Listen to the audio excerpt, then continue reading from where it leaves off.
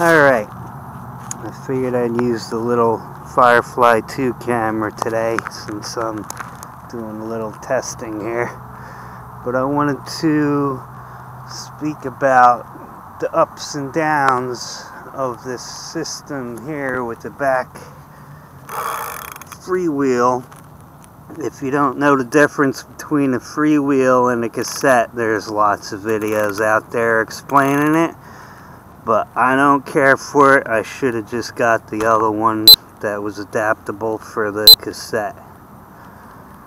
And here's the new 48 tooth chainring. The bolts that they sell with it is only good if you're going to use it as a single, but since I got two gears there, this goes into the other gear, so I only got a few threads catching it with my original bolts since this is a little bit thicker. But yeah, I'm going to have to get some new longer bolts. But I could probably go with a 50 tooth, no problem here. There's plenty.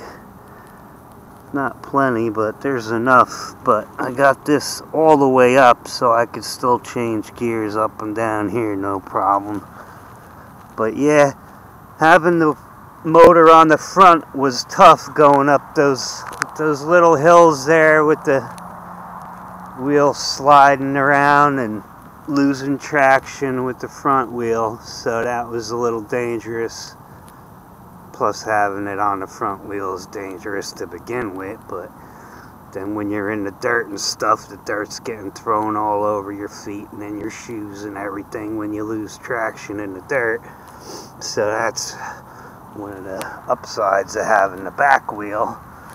But I'm still happy with it, even though, you know, the gearing ain't as good as I can pedal now at 20 miles an hour going uphill. So, before with the cassette gears, obviously you got a higher range of gearing. So, that kind of helped out. And it ain't bad looking either. The snail.